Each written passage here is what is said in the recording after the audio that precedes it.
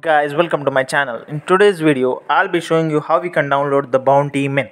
Audio available in hindi and english. You can download this in 720p and 480p quality.